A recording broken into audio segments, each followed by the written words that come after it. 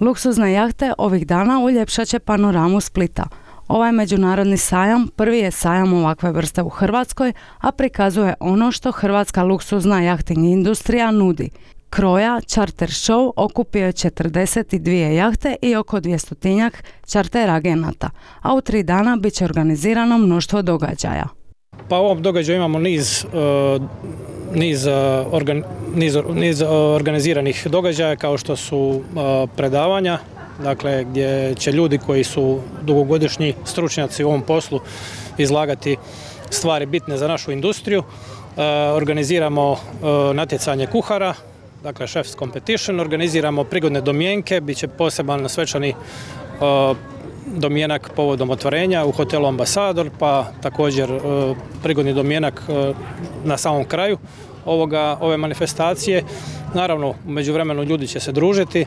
Imamo također organizirani crew party, dakle zabava za članove naših posada, kojih je tu također jedan velik broj. Hrvatska ima što za ponuditi, a cilj ovog događaja je agente upoznati s našim tržištem kako bi mogli privući goste iz cijeloga svijeta na Jadran.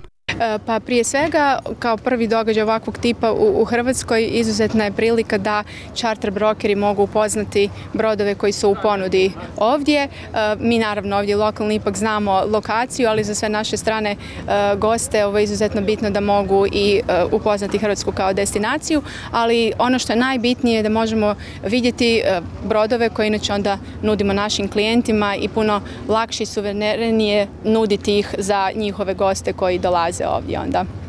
Ponuda luksuznih plovila u Hrvatskoj postoji, no specifična je jer je riječ o gostima izrazito visoke platežne moći koje unajmljuju plovila preko čarter agenata. Pa iz moje perspektive ovo je stvarno velik događaj e, kako za mene tako i za cijelu ovoga jachting industriju u Hrvatskoj. Naime, Većina naših gostiju, njima nije prva na pameti destinacija Hrvatska.